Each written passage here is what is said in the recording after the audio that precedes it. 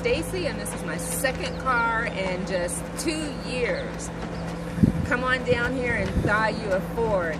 Great place to buy a car.